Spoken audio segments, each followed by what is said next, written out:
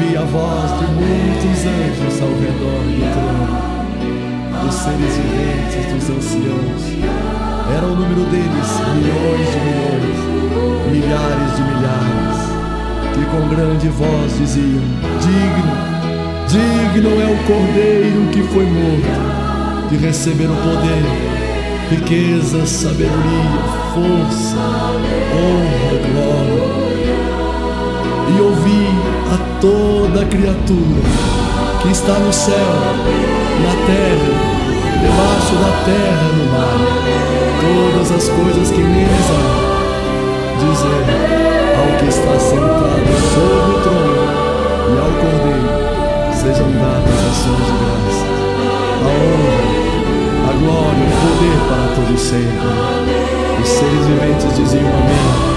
Os vinte e quatro anciãos prostraram-se a que vive para todos.